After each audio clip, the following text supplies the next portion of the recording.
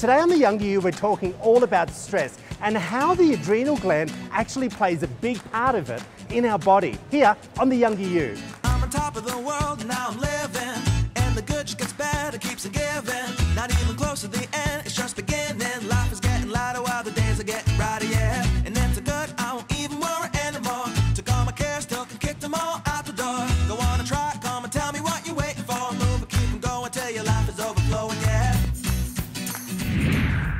Welcome to The Younger You.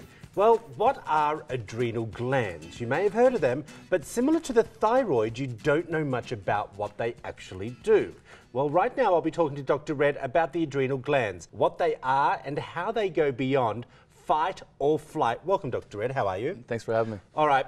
I know it's a crazy question, but what is the adrenal gland? So the adrenal glands are glands that sit above the kidneys, and there are stress glands. So if we are overly stressed, then cortisol will increase. If we are uh, have other conditions or problems, they could be decreased, and that could affect our metabolism. That could affect our total health. That could affect our immune system. Lots of stuff. So. Okay, so how does the stress actually affect the gland? The biggest part is when we live these chronic stress lives, that will cause the adrenal glands to produce cortisol.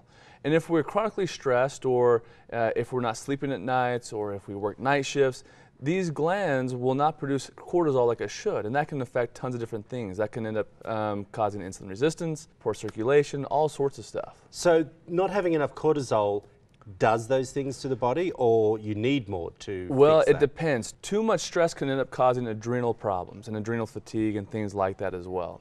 And if the adrenal glands can't produce the proper cortisol like it should, it can end up causing a slew of hormonal problems. It can end up causing low blood pressure, all sorts of things. I mean, if you can imagine, low blood pressure, for example, will end up causing these patients to not get the proper nutrients and oxygen to the brain. So uh, it can affect lots of problems. Okay, chronic stress is different to normal stress. How does that affect the, the adrenal gland? Well, if people have this prolonged amount of stress, then the adrenal glands just can't produce the cortisol like it should, and can end up causing lots of problems and, and lots of lots of issues there. Okay, we've, we've talked to you before about Hashimoto's and low thyroid. Yeah. How is that connected to the adrenal gland? One, if somebody has high cortisol, then high cortisol has been seen to actually flare up the autoimmune disease, so flare up the Hashimoto's. Okay. And this can create a ton of different symptoms and a ton of different problems.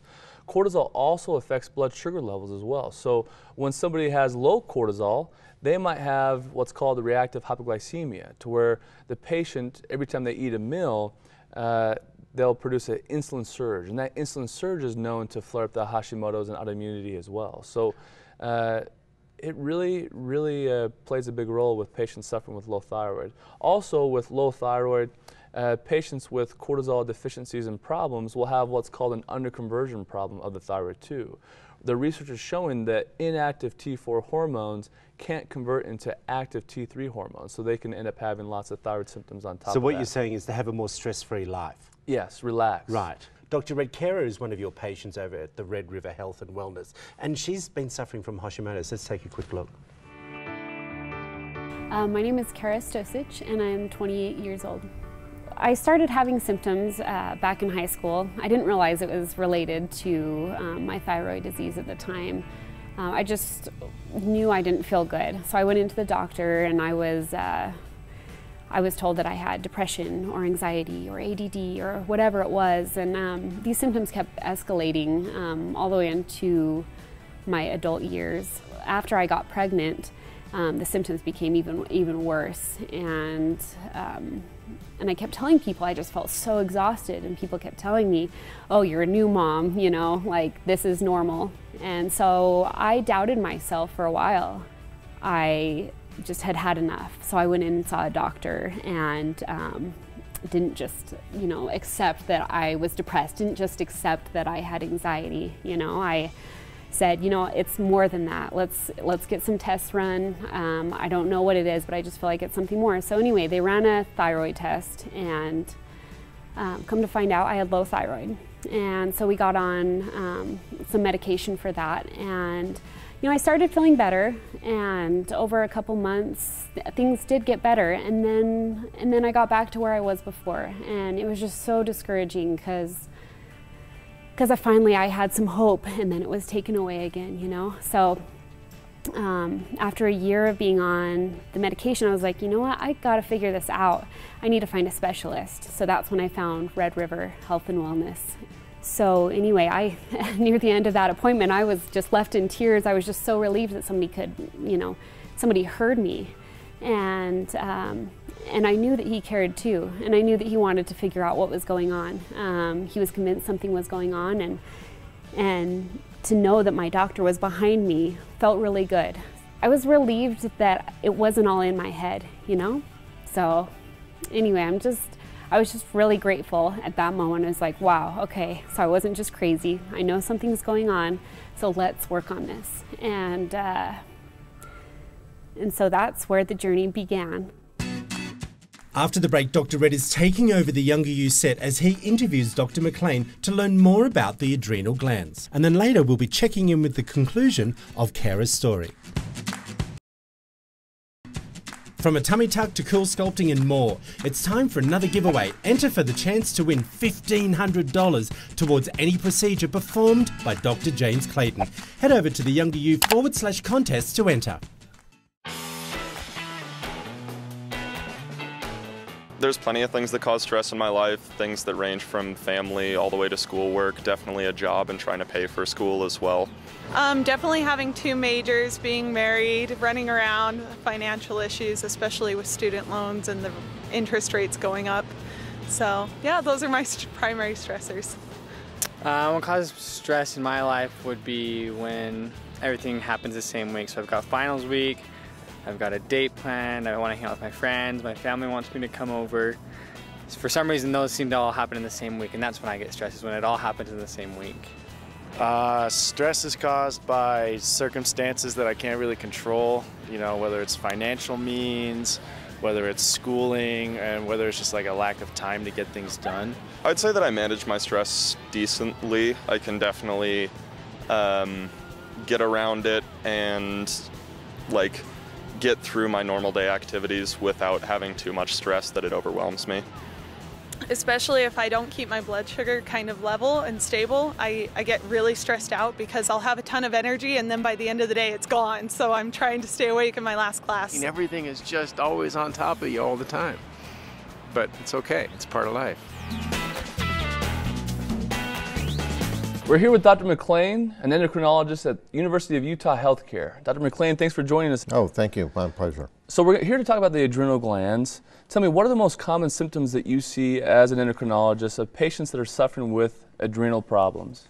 Well, you can have both destruction of the adrenal gland or an overactive adrenal gland, and that in turn can be a tumor on the adrenal making too much of the products or the brain overstimulating Yeah. it, the pituitary tumor uh, causing that. So when you don't have enough of the adrenal hormones, and, and those are the main ones uh, affected are two. One is cortisol, Yep. and the other is uh, are mineralocorticoids. So one uh, affects more metabolism, one affects your salt balance. If you take out the adrenal glands, you have troubles with both. But the symptoms of not having enough adrenal uh, uh, hormone would be um, weakness, weight loss, tiredness, dizziness, uh, sometimes even fainting upon standing. And that's low cortisol. That would be low. And then if you're losing also the mineralocorticoid, that, that uh, salt balance hormone, you will also have disturbances of sodium and potassium that can cause problems. yeah. And then, then on the other side of the uh, spectrum, if you have too much cortisol, um, uh, the opposite of many of the things uh, I said happen. So you'll get obesity, but generally just more obesity of the trunk, and in fact your muscles will wither away. It'll be kind of like Yeah. toothpicks in a big ball of clay uh, uh, kind of uh, physiology. And then cortisol also can suppress your immune system in excess. It can also alter For your sure. metabolism. What do you see as linked to Hashimoto's and adrenal problems? Um, well, when you have one autoimmune problem, you're more likely to have another. And Yeah. in fact, the the coincidence of adrenal uh, uh, autoimmune destruction and thyroid autoimmune destruction is common enough. It even got its own name, Schmidt syndrome. Yeah. Uh, so we do see those occurring uh, together. Yeah. Uh, uh, Great. Why would you say adrenal problems are so hard to diagnose? It, it just seems like we'll have patients with significant adrenal problems, uh, and yet diagnosing Addison's or diagnosing other autoimmunity to the adrenal glands is just seems to be really difficult. Well, part of the reason is these hormones, uh, not just cortisol, but also thyroid hormone, Mm-hmm. affect so many aspects of the body that the symptoms are very non-specific. Yeah. So a little weight gain or weight loss or feeling tired or feeling anxious, that can be a million things. Yeah. It usually is not going to be a thyroid or adrenal problem. Yeah. But it can be. The other problem is that with that, in terms of cortisol, because you have that, that uh, circadian, Circadian rhythm, rhythm, uh, of cortisol, it really depends on when you measure it during the day. So Yeah. you have to do measures that uh, take into account that. And so sometimes we For have sure. to do a full 24 hour collection. Uh, to be sure that it's an Yeah. adrenal, because at any given point you you you might Yeah. be low or high or not know. Yeah. Now, there's lots of people that will do saliva testing with cortisol, and they'll mm-hmm. check their saliva throughout the full day, measuring that circadian rhythm. What is the difference between testing with the saliva and testing with the, the blood chemistry? The blood test and then the urine test, which actually sort of integrates a whole 24 hours Yeah. worth of secretion, are really uh, the, the best studied and the, the most validated. The salivary test has only been around for uh, a few years, maybe a decade, a little over a decade. Um, and so it's not as thoroughly studied, but the advantage is clearly it's a lot easier to do. Great. Well, Dr. McLean, I met with lots of endocrinologists. I've, I deal with lots of endocrinologists, and you know your stuff. I, I appreciate you coming and, and sharing your knowledge with us. It's been great. Perhaps you're feeling overwhelmed by your daily to do list. When we come back, we will be finding out ways to reduce what we all have stress.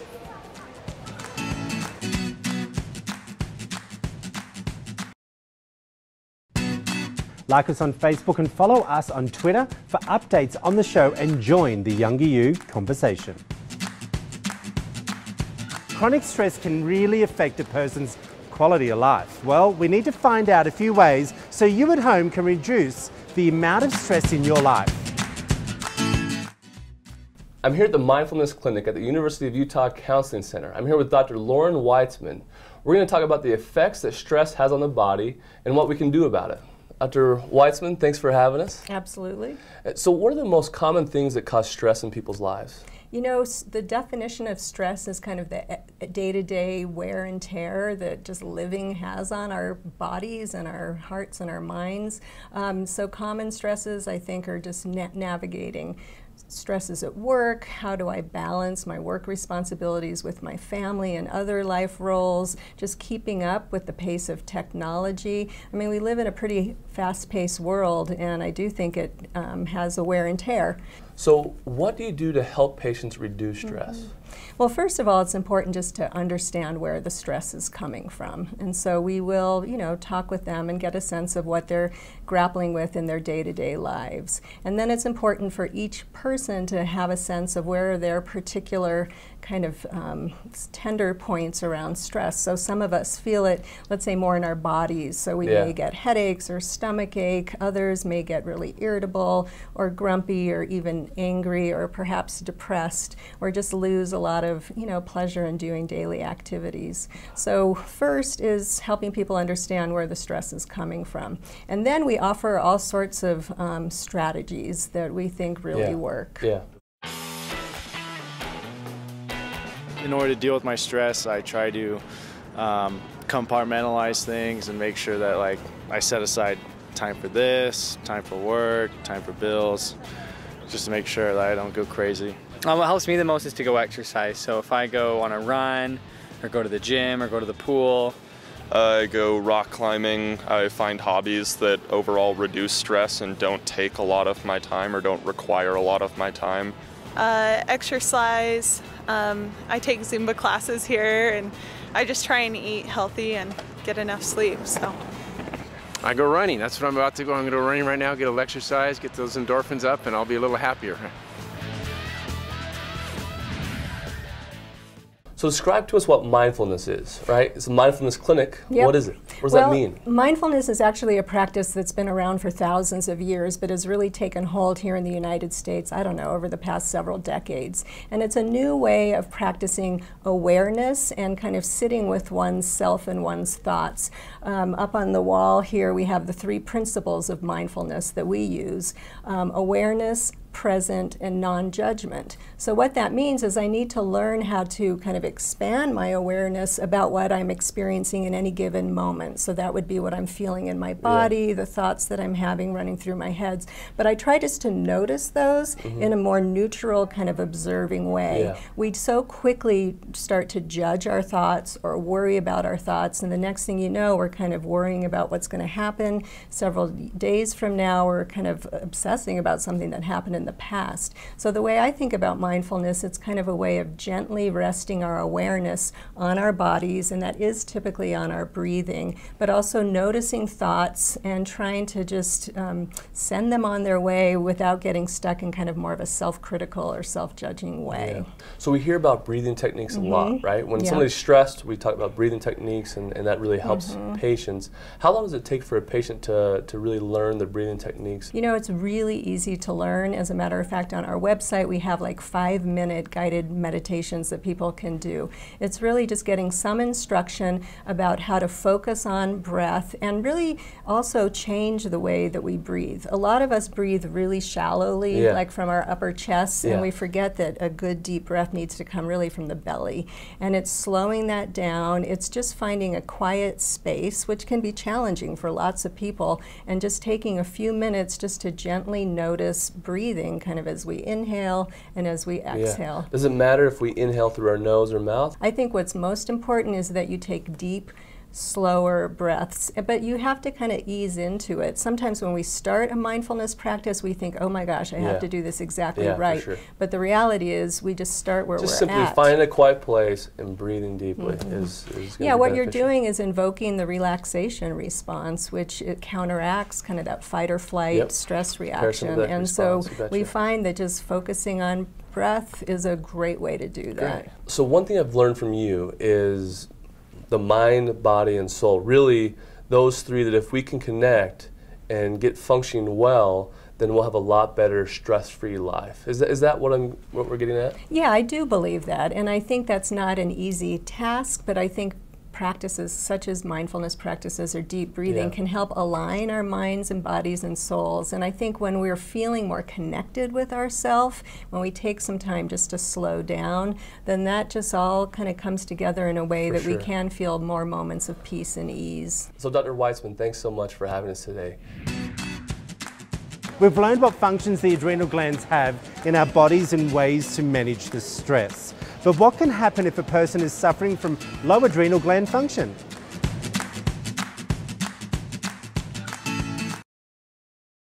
Check out the Younger You website to watch full episodes of the show, read about our product of the week, and get useful tips and tricks to help you achieve the Younger You. Josh, what kind of diseases can affect the adrenal glands? Anyone that might have Hashimoto's disease, for example, mm. can also end up having adrenal problems too. So when you have one autoimmune condition, it can likely turn into another autoimmune condition. I want to talk to you about Addison's disease. What is it?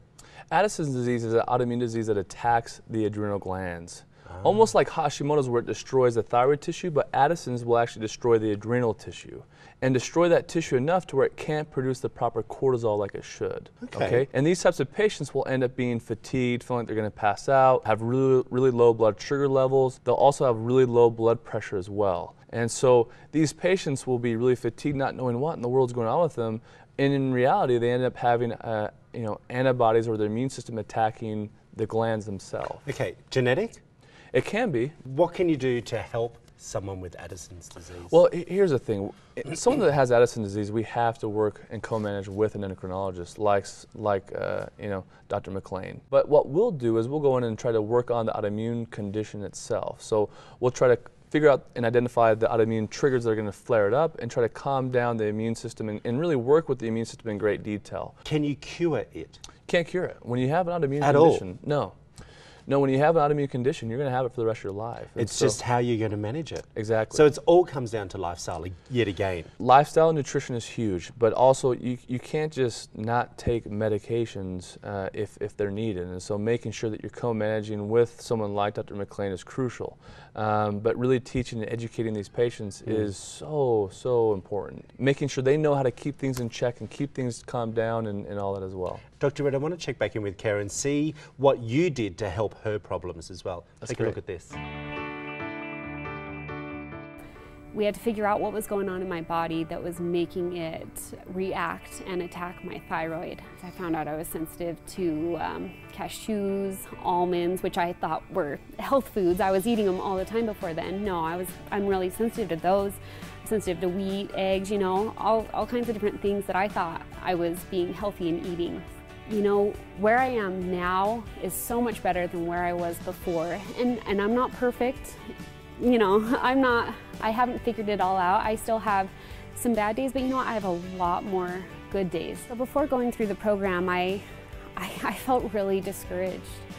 Honestly, I had been through, I had been through multiple doctors. I had um, tried all kinds of different things um, to get my health to where it needed to be, and um, just to have the knowing of, of what this is is is just empowering. It's it's exciting. I mean, I I feel like I'm more in control. Like I I have a path that I can take to my ideal health and wellness. Whereas before, I didn't know what I was doing. You know, I didn't know I didn't know what my body was doing. I was I was insecure and I felt I felt worried that I wouldn't ever figure it out. And um, now I feel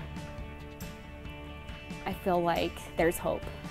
I know I still have some work to do because it's a process and sometimes it can, it can take a couple years to really get um, all the stuff you've accumulated in your body out of it and just get yourself back to a balanced state and like learn how to manage your stress and everything. But I feel like I've learned a lot of tools um, to take with me and I've learned habits and I've taken on a whole new way of of living and thinking about things, you know? So after I gave birth, I uh, just felt the exhaustion come on really heavy. And, uh, you know, there were days where I, I couldn't even keep up with my son. And, and as he got into his toddler years and became more and more um, wild and excited about life, I wanted to be there with him. And I just didn't feel like I I didn't feel like I could, you know? Like I felt depleted some days. I mean, some days I did just want to lie in bed. And it was just such a relief to get some of that energy back once I went through Red River and started eating the things I needed to. I I started having more energy again and that's I mean, that's where I'm at now. I feel like, you know, I can really be there for him. I can I can be an active, fun mom, the mom that I want to be. Dr. Redd, thank you so much. And I know you me. help so many people with this, and you've also helped me as well. So thank you so much. Everyone has a little bit of stress in their lives, but it's about being able to manage that stress and not overworking the adrenal glands. It is important to find a stress reducing method that works for you.